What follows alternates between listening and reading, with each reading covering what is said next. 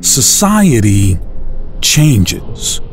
Whenever there are major events in a particular country or region, society changes.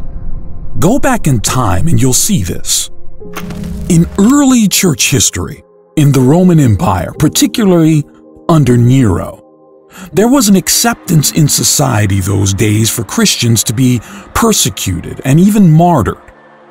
In the Victorian era in Britain, one of the more accepted signs of success for males included having a wife and family, having a good home, and owning a horse and carriage for transportation. When the Great Depression happened in 1929, society changed and people established new norms like thrift gardens in order to survive. After the 2008 financial crash, society changed. People began to diversify their investments, their savings, and how or where they kept their money.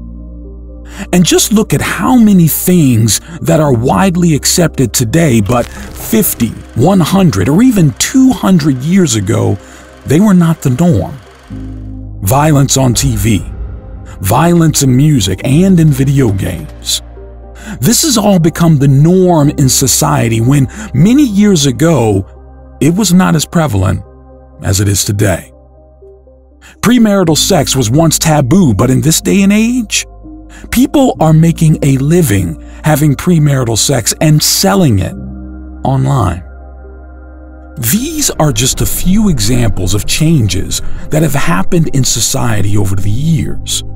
But what does the Bible tell us about the changes that will happen in society to signal how close we are to the second coming of Christ?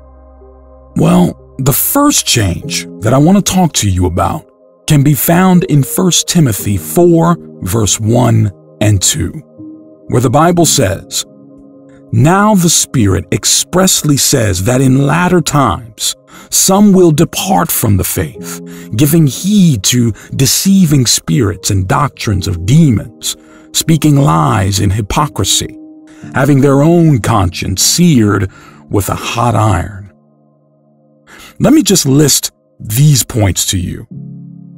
People in the last days will turn away from the faith, meaning there will be an apostasy, a falling away. And what does this look like?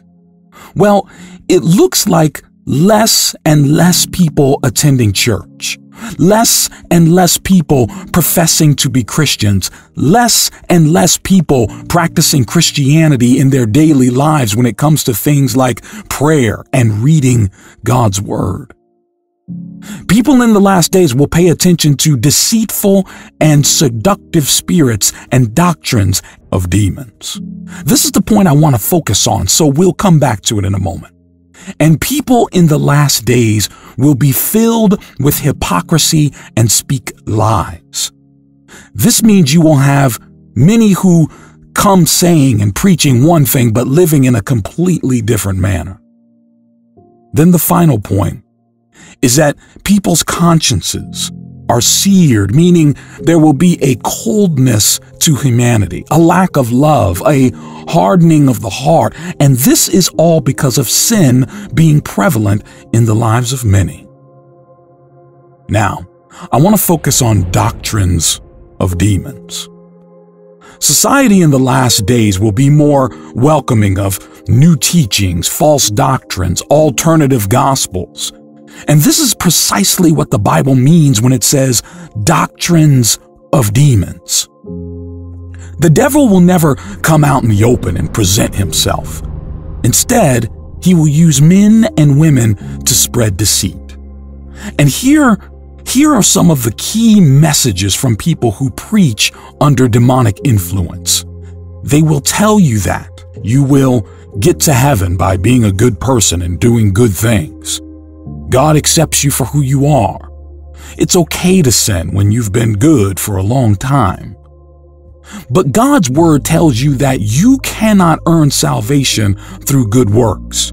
Salvation comes only by accepting Jesus Christ as your Lord and Savior and turning away from sin. God's word tells you to deny self and to keep your flesh under subjection. And finally, the Bible tells you that the wages of sin is death, and so there is no trade off between good behavior and sinning freely. So you see, these are doctrines of demons. Now, earlier this year, a report was published. Utah District bans Bible in elementary and middle schools after complaint calls it sex ridden. The article goes on to say a suburban school district in Utah has banned the Bible in elementary and middle schools after a parent frustrated by efforts to ban materials from school, argued that some Bible verses were too vulgar or violent for younger children. Now, the Bible says in Isaiah 5, verse 20, Woe, judgment is coming, to those who call evil good and good evil, who substitute darkness for light and light for darkness who substitute bitter for sweet and sweet for bitter. This is what we are seeing. Good is now being called evil, and evil is being called good. The world is a very different place to what it was 20 years ago. There are many more threats that we have to contend with physical threats, emotional and mental threats. And of course, there are many more spiritual threats that we face today. Sin seems much more rampant and chaos is common. You look at the television, you watch the news, and look at the entertainment industry, and you'll find that there is so much hatred, idolatry, and pride that has infiltrated our culture. And if you're not careful, it's easy to be influenced, swayed, and even enticed by the evil around us. Despite that, Christians are called not to let their love grow cold in such a time of evil and sin. In Matthew 24, Jesus answers two separate questions that his disciples were asking him. The disciples asked, when the fall of the temple in Jerusalem would happen, and what would be the signs of the return of Jesus. Both are legitimate concerns for the disciples. One happened very quickly. That was the fall of the temple in Jerusalem, which happened in 70 AD, as the Roman army came in and dismantled Jerusalem. The other has yet to happen. That is the return of Jesus. In response to these questions, Jesus says in Matthew 24 12, And because lawlessness will be increased, the love of many will grow cold. It is hard to tell whether Jesus is talking about the increased lawlessness happening before the fall of the temple or his second coming. He's likely talking about both. Whatever the case may be, there will be a time when increased lawlessness will happen.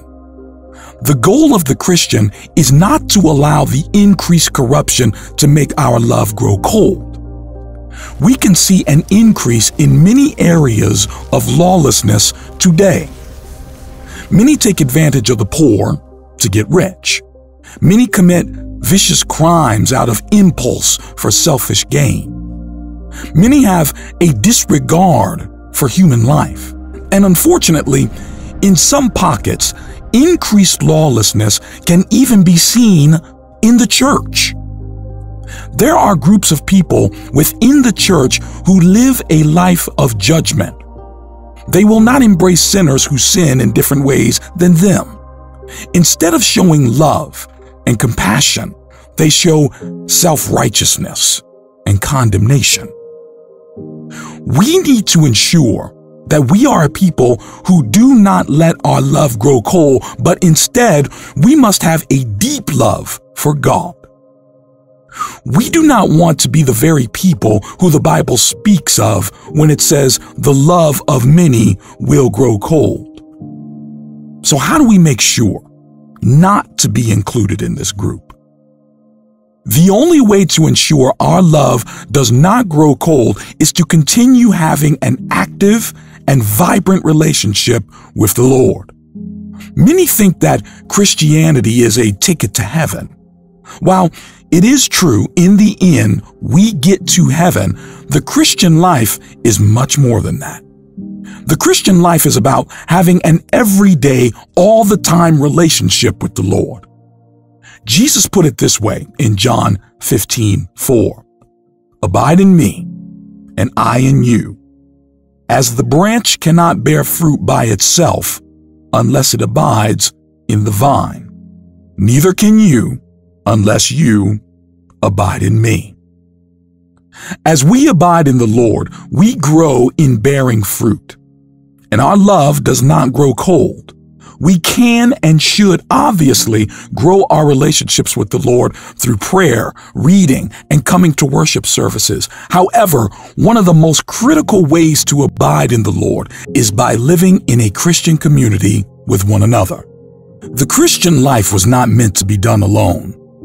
It is when we live the Christian life in isolation that our faith often dies. A study was done where a single rat was put in a cage with a drug tablet. The study was to see if the rat would eat the substance. Every time a rat was put in a cage by itself, it partook of the substance. The isolation led it to the drug. They also put the substance in a cage full of rats. Every time the substance was in the cage with multiple rats, the rats ignored the substance as if it was not even there. While we are not rats, the same is often true for us. When we surround ourselves with Christian community, we are much more able to live a godly life. However, we are much more likely to let our love grow cold when we live in isolation. We live in very evil times. The world has always had evil and will continue to have evil until the return of Jesus. How are you combating that evil right now? Do you have godly Christian relationships? I suggest finding a group of Christian people to meet with at least once a month. It does not have to be a big group. However, these are the people you trust your life with. You share the good, bad, and ugly of your life with them. As you do that, you find a place where you can be open and honest about where God has you. Satan is trying to combat your Christian life by making your love for the Lord grow cold. However, surrounding yourself with Christian community, as well as reading the Word, praying, and going to Sunday services will help you abide in the Lord and combat that desire to turn from God in these evil days. So hear me. Even though the hearts of many has grown cold, even if godly values, biblical values are no longer held to high esteem in society, I want to remind you that greater is He who is within us than He who is in the world. Jesus Christ is light, and He is the pure and holy light that drives out all the darkness. In Ephesians 5 8, the Bible says, For you were once darkness, but now you are light in the Lord. Live as children of light. The Bible says that we too once walked in darkness. Before we came to Christ, we were in darkness. But God, in His great mercy, opened our eyes to the truth of Jesus Christ, the author of all goodness and purity and righteousness. It is because of Him that we can shine even among the shadows. Matthew 5 14 16. You are the light of the world. A city set on a hill cannot be hidden. Nor do people light a lamp and put it under a basket, but on a stand, and it gives light to all in the house. In the same way, let your light shine before others, so that they may see your good works and give glory to your Father who is in heaven. If you've ever lit a candle in a dark room, you know what a big difference that tiny flame can make. One small spark has the power and intensity to light up an entire room. The Bible says that is what we are like when we allow the Holy Spirit to fill us. As a child of God, you are like a candle in a dark world. And when we all come together with fellow believers in one accord as the body of Christ, then we can really impact the darkness in this world through the light of Jesus Christ that burns within us. John 1 5. The light shines in the darkness, and the darkness has not overcome it. So, how can we let God's light shine in us in our everyday lives? Well, 1 Peter 4:10. As each has received a gift, use it to serve one another as good stewards of God's varied grace. In order to reflect His magnificent glory, God has given each of us unique gifts to serve His body. Some of us are encouragers, some of us are teachers, some of us are worshipers.